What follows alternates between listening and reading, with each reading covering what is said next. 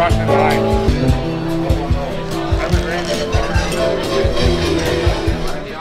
Really liking that. Saw the Facebook post on that.